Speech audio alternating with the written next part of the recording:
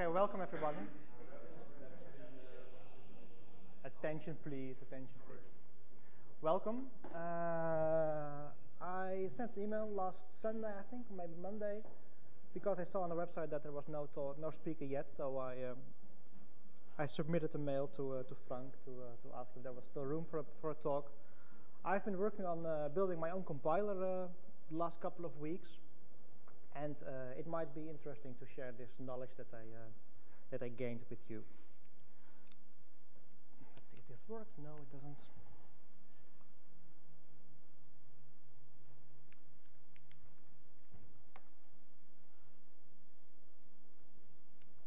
Now it does. Uh, a question that you can ask yourself, is this really interesting for PHP programmers? Because PHP is not the first language that you would think of when you start building a compiler, of course. Uh, I think it is. I think it is. You, we are all IT professionals, and as an IT professional, it is always good to, to have some knowledge of the tools that you're working with. It is good to know what's, what an operating system is. It's good to know what a disk is and what memory is. And it's also good to know what, what the compiler is and how it works inside. Uh, that's what we, we do all day. We're all day, every day we're programming, using programming languages, uh, turning these programming language into other languages. It's good to know how they work inside. So it is, it is good knowledge to know, it's good to know something about, about compilers. And it also helps if you know how a language works. Eh? If, you, if you see a syntax error or if you see a type hinting error, if you see some, some errors appear, it is good to know how the compiler works inside so that you know what is actually happening, what is causing this, this error.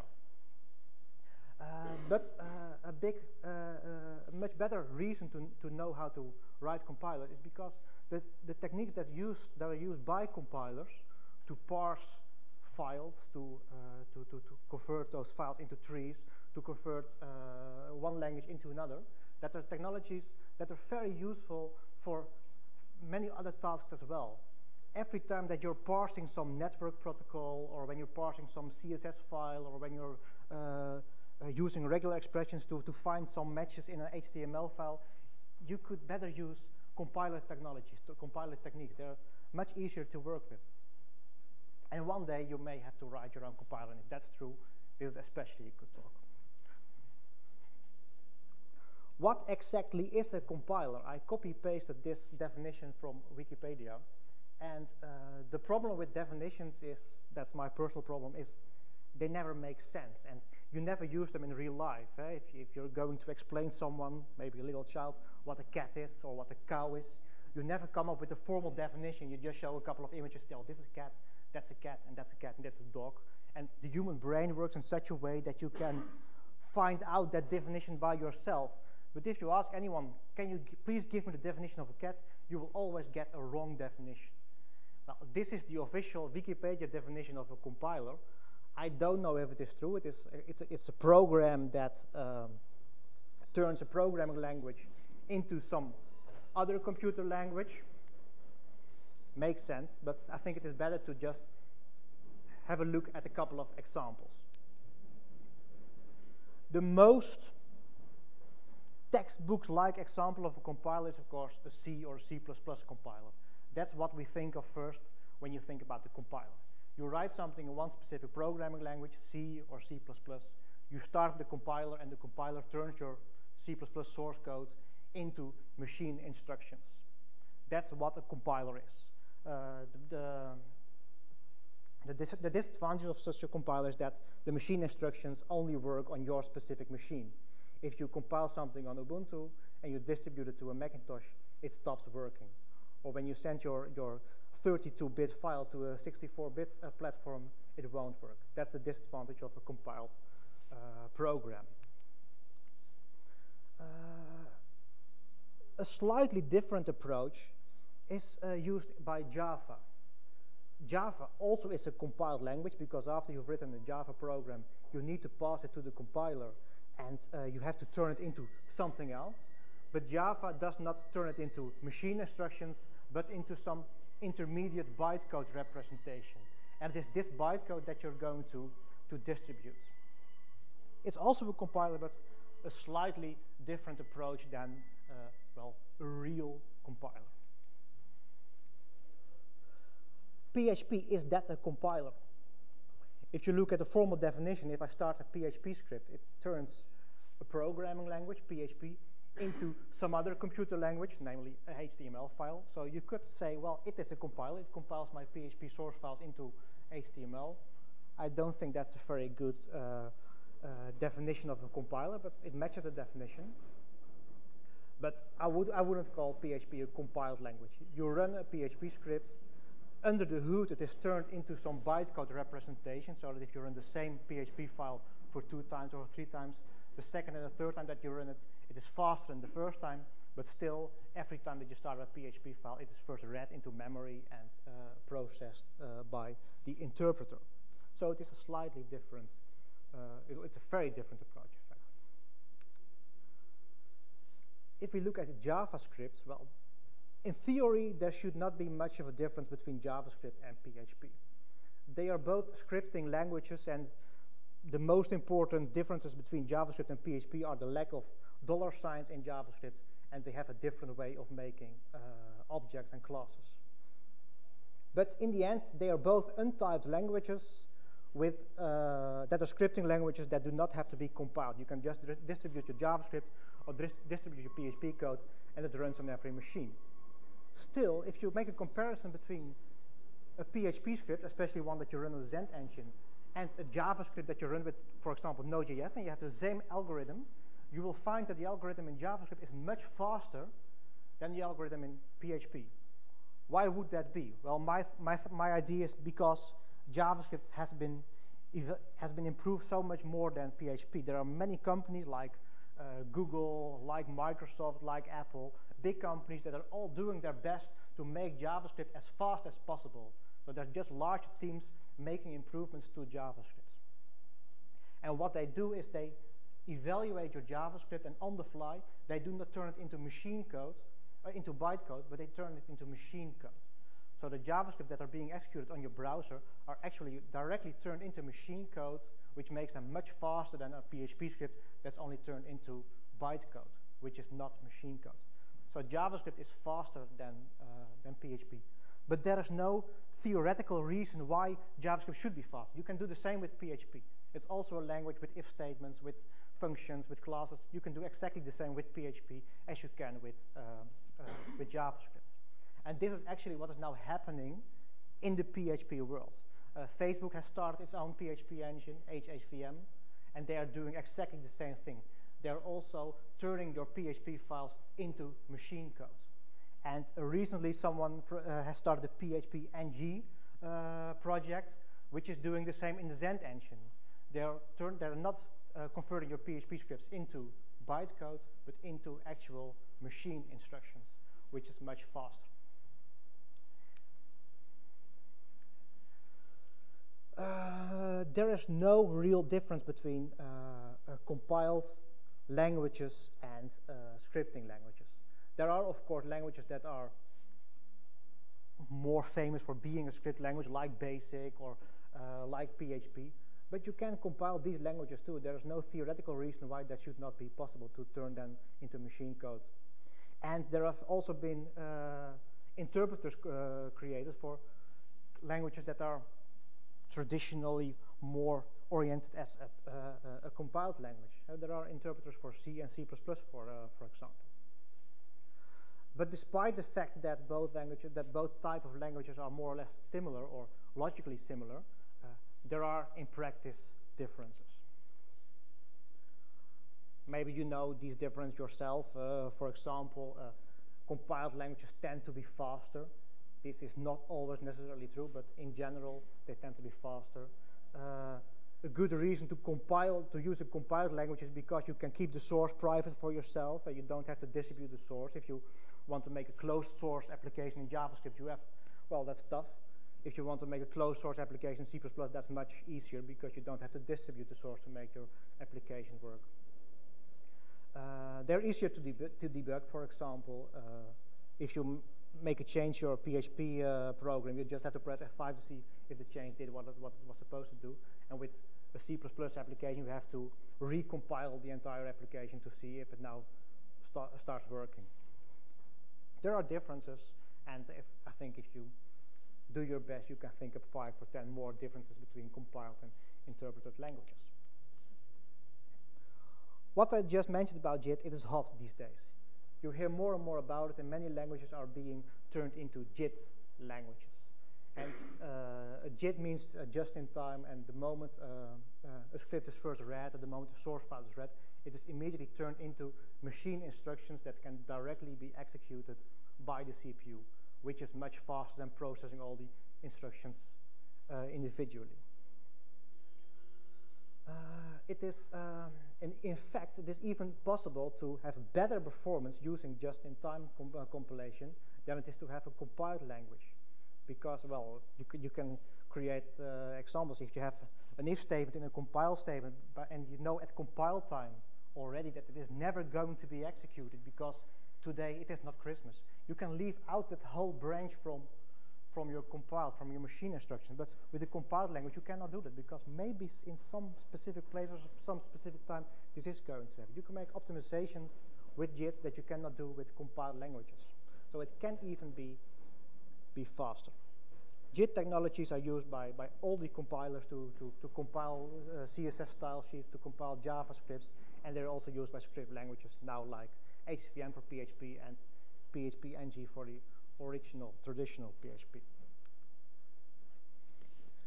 Do we have any questions so far? Yes.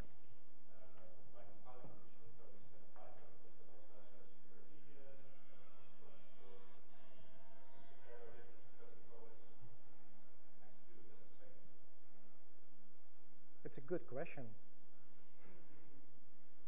If you do it right, there, is no, there are no security consequences, of course. Yeah. Yeah.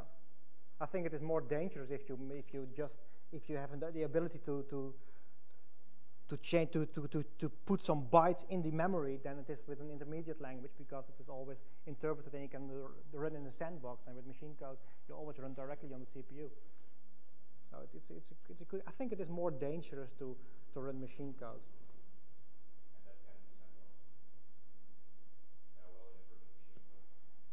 Well, you don't want to virtual machine. Yeah, I, I, do not know enough about hardware, but maybe even in hardware environments you can use sandboxing. That you can can tell the the CPU because the CPU nowadays they are so powerful. You can set up all sorts of constraints on running the inst the instructions. But I think it is more dangerous to to run direct machine code than it is to run bytecode. But on the other hand, if you run bytecode, you have this large program that's actually running the bytecode. So there are many more reasons for mistakes in, the, in that program. So more? Let's start writing a compiler. I've decided to do use a very simple language for this, Smarty. Are we all familiar with Smarty? Well, okay, everyone is. That's, a, that's good. Smarty is a very simple uh, templating language. You can make HTML files, and inside the HTML files, you can put variables and if statements and many more things. But for the example, we just stick with using variables and, and if statements. That will be uh, complicated uh, enough. This is an example Smarty template file. This is how you would normally use it from PHP. You create a Smarty object, you assign your variables, and you display a template. Straightforward what happens under the hood, Smarty turns this, this template file into a PHP file. And this PHP file is then executed by Smarty or run by Smarty. In other words, Smarty turns one programming language into some other programming language, so you could call Smarty a compiler if you insist. Uh, this is then the, the, the, example PHP file that Smarty turns the original template into. If you scroll down, you can see the actual code. Here is what is happening.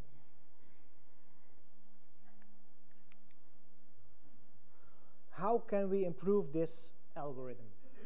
Well, if you think of it, Smarty is a PHP script that turns a template file, a TPL file, into a PHP file. There are two obvious places how you can improve this. for a start, you, can, you should not turn this TPL file into a PHP file, but you should turn it into machine instructions directly. That's much faster than having this PHP file. And the other thing how you can improve this, not by making Smarty a PHP script, but by making Smarty a native algorithm, an algorithm implemented in a native language like C or like C++. That would also be much faster. And a cool side effect of these steps is that you can use uh, Smarty also inside non-PHP objects because nowadays if you want to use a Smarty template in a project, it must be a PHP project because you must have to start this Smarty object with this a PHP object so it only works in PHP environments. In fact, what I now present here as a cool side effect was the main reason for me to start working on this because I have many customers that use Smarty templates and I want to speed up the, these applications and I want to uh, to, to run the mailings with, uh, with C++ code without having all my customers to make changes to their Smarty templates. So I had to process these Smarty templates with, P with C++ code.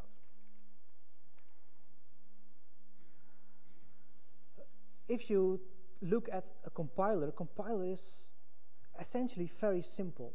What a compiler first does is it, is it takes a tokenizer and it splits the input string in tokens into an if statement, into an identifier, into a literal string, into a literal uh, integer, just like you would do yourself. If you see yourself uh, a source file, you immediately discover, oh, that's a function, that's an if statement, that's an identifier. You immediately do it like that. And only in the second step, you are going to parse that. You're going to look, oh, but I see I've opened a curly brace there, but it doesn't close. Oh, I see that I have an else statement before the if statement. That makes no sense. But that's the second step. That's the parser. And that parser, that creates a syntax tree. The, all these statements and all the elements are turned into one big tree that represents your entire application or your entire algorithm. And if you have that syntax tree, you can use that syntax tree to do something with it. For example, turn that syntax tree into some other representation, like machine instructions, or like bytecode, or like another PHP script, like Smarty is doing. Okay, let's take a look at the tokenizer. If you take a look at our first uh, very simple example template, you can see the tokens. There are raw tokens. For example, the, the, the, the raw text, the, the, the, HTML, the body, the hello world, the, the, exclamation mark. But there are also tokens that start a different, a different syntax, like the opening dollar sign, the opening if sign, the, the closing if sign. And if you are inside the if statement, you can recognize tokens like the age variable, the bigger than sign, the, the literal integer 18. These are other tokens. And there are end tokens to close the Smarty context, the, the closing curly brace. This is your st first step in your compiler. The first, thing, the first thing that you have to do when you write a compiler is writing a tokenizer. Writing a function that takes this input and generates all these tokens.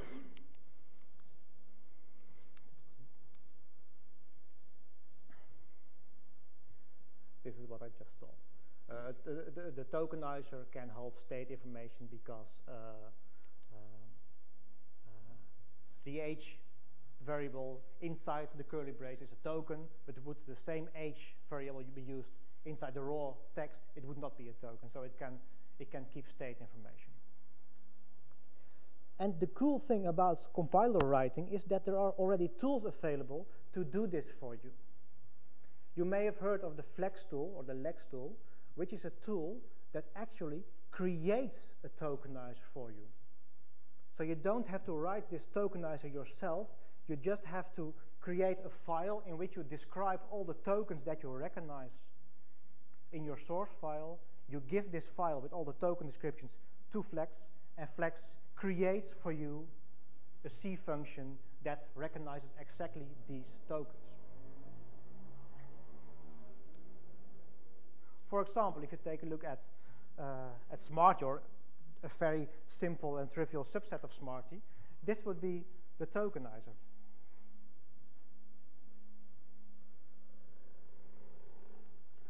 We recognize the if opening token, we recognize the dollar sign opening token, we recognize the end token and we recognize an opening curly brace.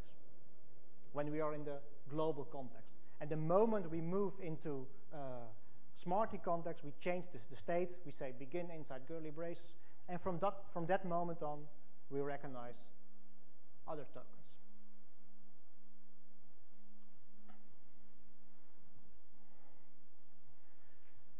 You see many tokens here. All, the, all those token underscore something uh, things that are constants, that are they have values like 1, 2, 3, 4, 5. In other parts of the program, you can pick up those values and know exactly what token you encountered. Some tokens, like uh, the regular expression for, uh, for uh, numeric values, have some additional statements that are executed to remember exactly what specific uh, literal value there was used. And this is it. This is a very simple file, but just a couple of regular expressions describing all the tokens. And inside strings is also a different context because we have to uh, look for the, the, closing quote, and inside the string you can use uh, dollar signs and all things that would otherwise be tokens. It is, it's a relatively simple file in which you describe just the tokens that you recognize in your language. You put this file into some, well, into a compiler. You can compile it with flex and then the file that you put your, uh, your, your token definitions in. And this creates a tokenized.c file, which you can then compile with the uh, normal C compiler. And once you did that, you have automatically this YYLex function that you can call to fetch the next token. You can, in a while loop, you just you just keep calling it. Well, tell me what's the next token, and you can say, oh, well, I now have an if, and this is an identifier, this is a numeric, this is a, an antif. You get all these tokens, and then you do something with the tokens. And that's the next step. That's the next step in building your own compiler. You have to parse the tokens. You're going to create a syntax tree based on all those tokens. You're, make, you're going to create a program object which has a list of statements, and the statement can, for example, be an if statement, which has one branch with a true uh, branch and one branch with a, with a false branch. You're going to create this tree. And you have to do operator preference. If you, if you see a list of tokens, if you see first see a literal 2, then a plus, then a literal 3, then a, a multiplication sign, then a literal 4, you have to know that you first have to multiply 3 by 4 and then add 2. You have to know that. That's what your parser is going to do. In fact, building the parser is more difficult than building the tokenizer because the tokenizer was really simple. It was just a list of regular expressions. But still, writing a parser, uh, you would, for example, create a tree like this. Uh, the, the, the, template that we originally saw can be turned into a tree like this, which HTML body, then an if statement, then slash body, then slash HTML, and the if statement is built out of uh, an expression which is a bigger than expression with a variable age compared to a literal 18. And then the yes tree does output the image, and the no tree, well, it does nothing. There was no else in the if statement. Writing this, this parser is more complex than writing the first, the initial tokenizer. But still, it is relatively simple because we have also tools for that. Just like we had uh, a, generator to uh, uh, the flex tool to create the tokenizer, we have a couple of tools that you can use to create the parser.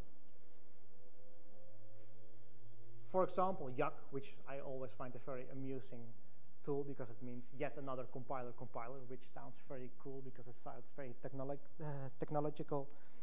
I like that word, but it is closed source or it, it's you cannot use it. And there's Bison, which is an alternative for that, and there's Lemon, which is another alternative and part of the SQLite. Well, it sounds very, very silly, but the tool that is part of the SQLite suite is in fact the best one to use.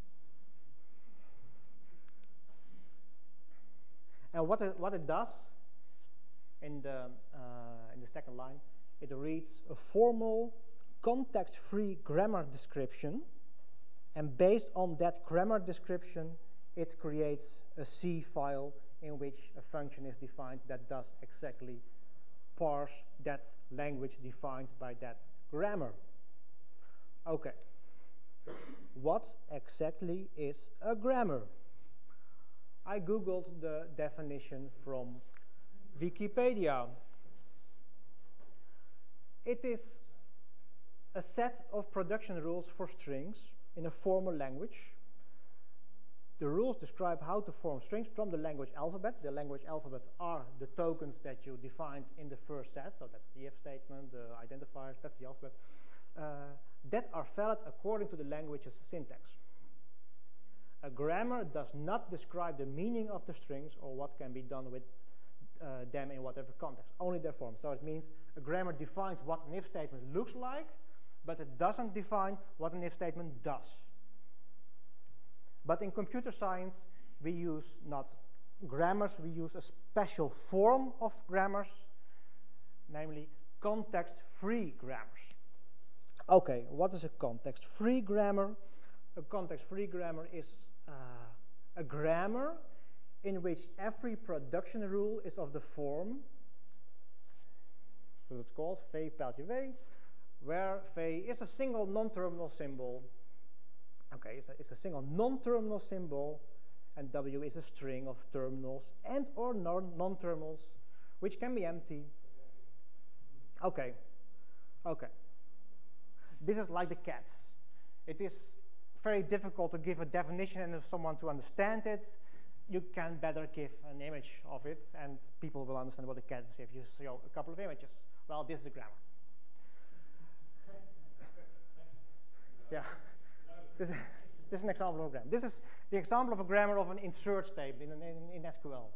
You can see a grammar is What's an insert statement? Well, an insert statement is first the, the, keyword insert or the keyword replace or the keyword insert or fail into, well, with an optional database name because you can skip it, and then a dot with a table name, which is required. There's no way to skip it.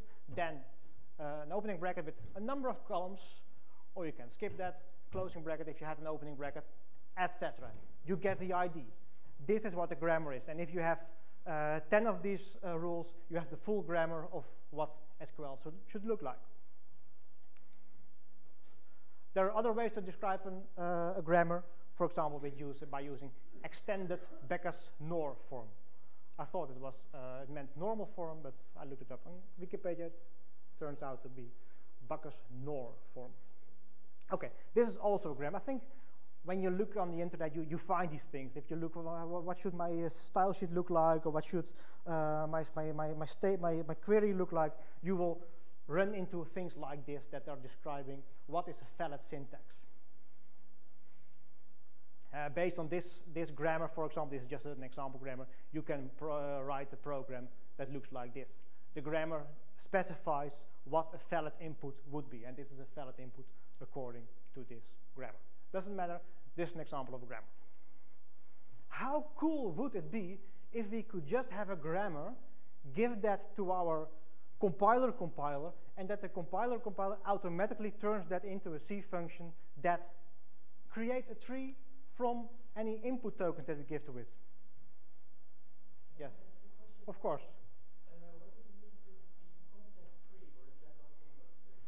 Oh, that is a very difficult question. I was so much hoping that you would not ask that. Um, context free means that um, in your grammar, the left side of your grammar, the left side is here, an insert statement is, and then you have this full list. And if the left side is just one, uh, one token, an insert statement, it's considered context-free. Hmm? Yeah, do we have a context when we are a natural language is not context-free, but computer languages normally are. Very, very good.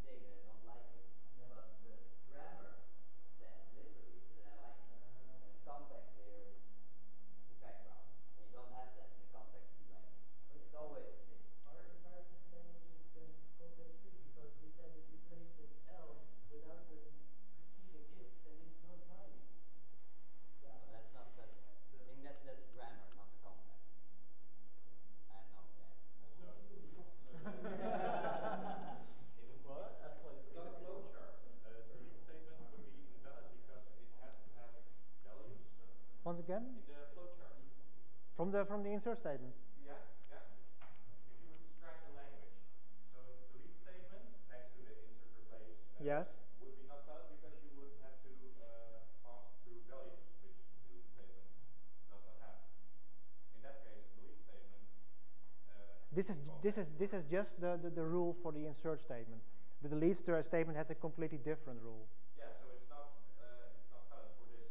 For the no, for this, if you if you would give a delete statement to this rule, it would say no, this is not a delete statement because it doesn't start with insert.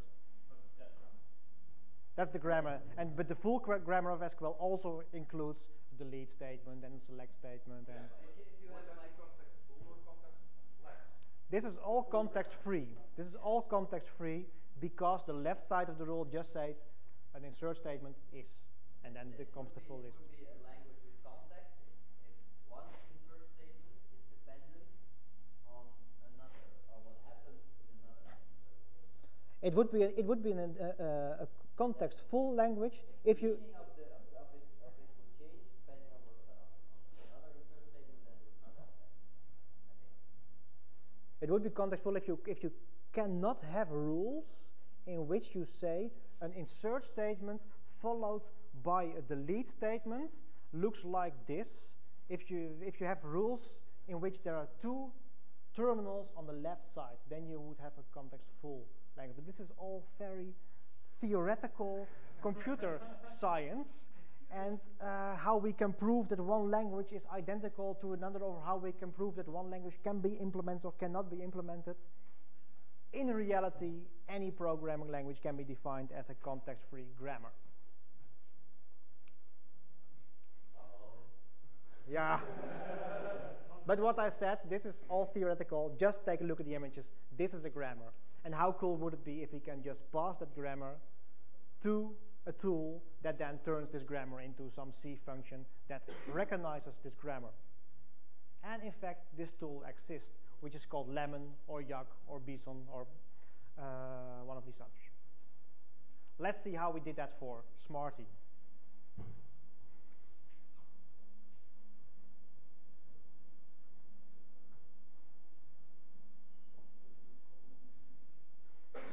You start your lemon file by defining the preference of your operators. You can say, okay, uh, the OR operator, I believe that the, the, the one on the top is the, uh, the one with the, with the lowest priority, and the one at the bottom are the, the most important ones. So an OR operator has less priority than uh, a plus, for example, and has less pri- priority than uh, uh, brackets.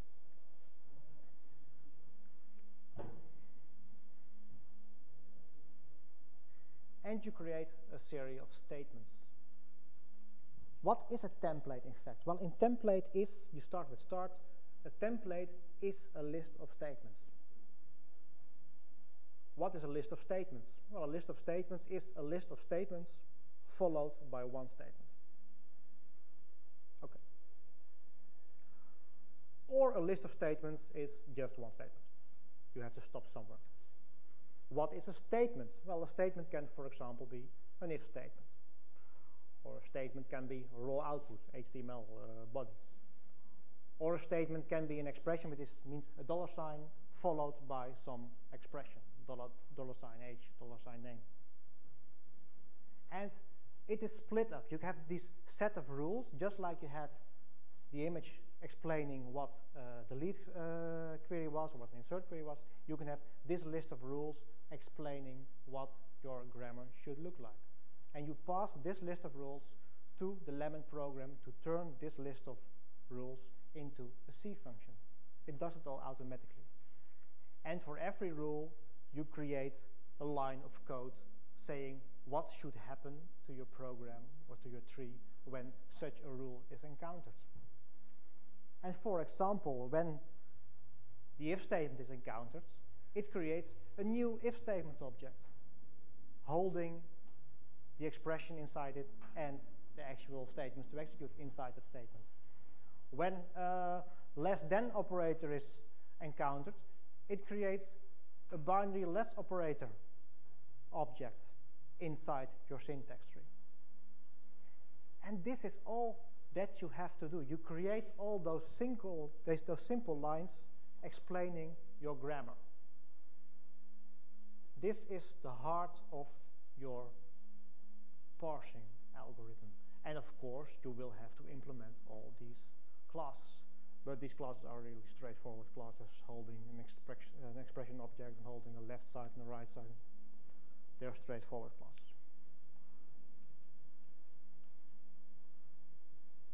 Okay, you put this in a file, you can compile this file with the, with the command lemon, and you can then compile the C file, and from that moment on, you can use the parse function, that's the function that was created by this lemon process, to start processing tokens. So what we have, we have, uh, from the tokenizer, we have this first yylex function, and from uh, the parser, we have this allocation function, and then a function to process all your tokens. I have simplified it, of course, because this is just a talk. We're not going into the depth of it. But there are some extra parameters to pass to it. But this is the core of your compiler, more especially of your building a syntax tree. And once you have parsed your entire file, you have a syntax tree. You have a tree with all these objects in it. This was a tree. We now have it in source code. What can we do with this tree? Well, we can start optimizing it. Once you have compiled this tree, when you, once you have this, this tree in memory, you can detect, oh, I see two branches, they are, uh, they are adding 2 plus, plus 2. Well, I replace it with just the number 4. You can optimize it, of course. But after you've optimized it, what more, what more can you do with it?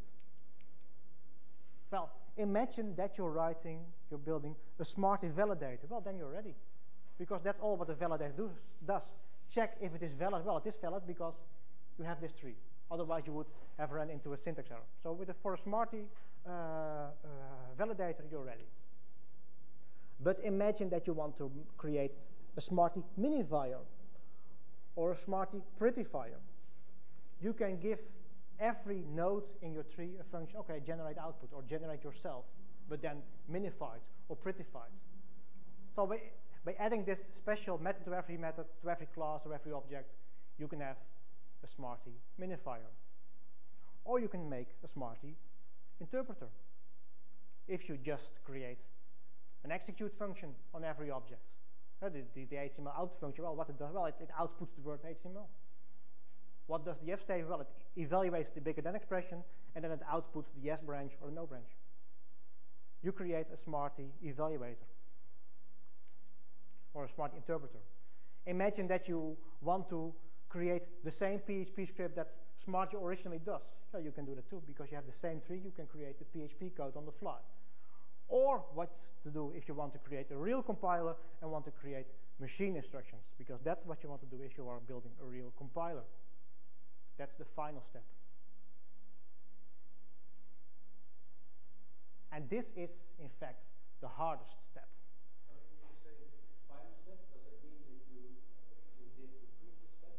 Yes, we have, we have now, we, we are now able, by doing all these relatively simple steps, we are now able to parse an input file into this syntax tree holding all the F statements, all the uh, outputs, all the expressions.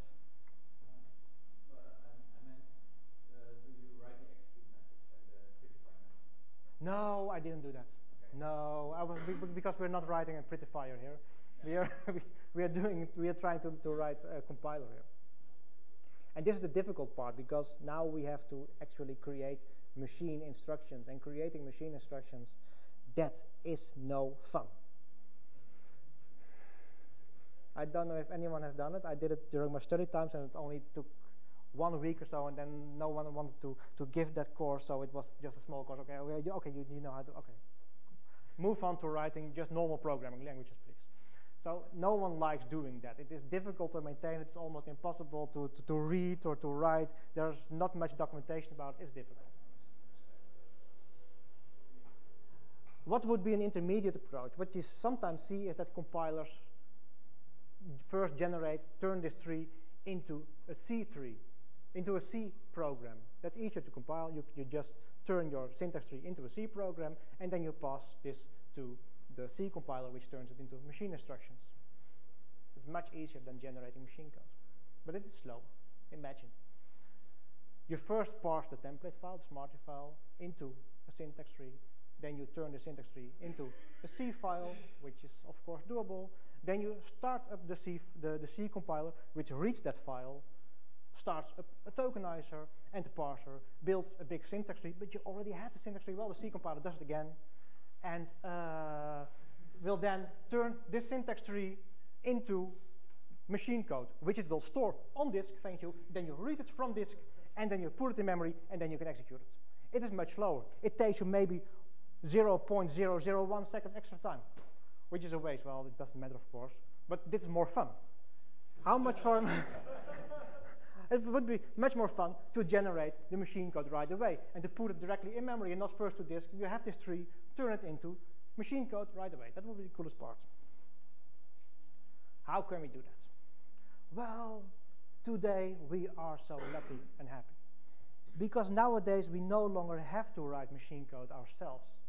There are a couple of libraries for us that simplify our life. For example, LLVM, which is the backend of the C lang compiler, offers a very good library that you can use to create machine code. And Mozilla, the browser, also created a library to turn trees into machine code. And there is a very simple open source libjit library that also gives a, a library to turn uh, to create machine code. And the cool thing is these libraries are platform independent, so you can just uh, want an add instruction, a function instruction, a branch instruction, and they turn it into some machine code. So you don't have to worry about writing all these hard parts any longer. And they even optimize the code for you, so it's very powerful. We use libjit. Well, I did, I use that. It is probably the worst one of all. But it is the only one that has some documentation and it is simple to start with. So I think LLVM is the best one because it is backed by, by large companies and uh, it's a very large open source project and it is it has it has a lot of features. But libjit is so simple. It has one very simple website. You can read it and you have I think 100 functions or so, or so which are all well documented and you can turn a syntax tree into machine code. It's very simple to work with. And this is what it does. This is an example of the if statement. You don't have functions in machine code, you just have labels. You can say jump to this special label or jump to that special label. We create two labels right after the if statement and to the else statement. We first do an evaluation. If that is correct, we just continue processing instructions. Otherwise, we jump to the else. And after processing the instructions, we stop uh, and we jump to the end. That's what's happening here. It's, very, it's one of the most complicated functions that you can implement, the if statement. But still, it is very simple. This is all what it takes to write machine code. And after you wrote the machine code, you can execute it. Remember, this was the syntax tree, and every node has a function to turn that node into machine instructions using libjit. And after you did that, you can run a program, run a Smarty template file with C++. You just create a data object in which you store all the variables. You create the template object, and you process it based on that specific data. This is about 10 times faster than uh, doing the same thing in PHP with Smarty. Still, Smarty is very fast if, if you just show John Doe and uh, 20. It took an iteration of 100,000 times to measure this improvement. But um, we're doing it for fun. Um, we can turn, of course, this C++ extension into a PHP extension, so you can use the same inside PHP, and you have much faster uh, Smarty template processing in, uh, uh, in PHP too. Um, we have added some extra gimmicks. For example, if you have a template file, you can turn your template file into a shared object file with uh, a special compiler because we have the syntax file, the syntax tree anyway, so let's turn it into machine code and store it on disk. So the next time that you call uh, your, your, your, template, we can call the shared object file which already holds the compiled template well. The funny thing is this, does, this is not even that much faster than using libjit which was surprising to me. I expected this to be much faster because you don't have to parse it anymore, but it doesn't really matter.